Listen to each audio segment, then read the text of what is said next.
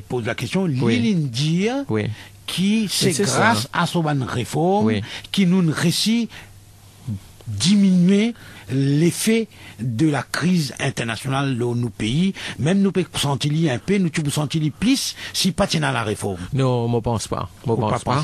pense pas. Et premièrement, on connaît aucune décision qu'il fait. On connaît compétitivité, c'est là, c'est peut-être le seul rempart qui assure, qui nous, qui a envie de miser la résilience en l'économie. OK?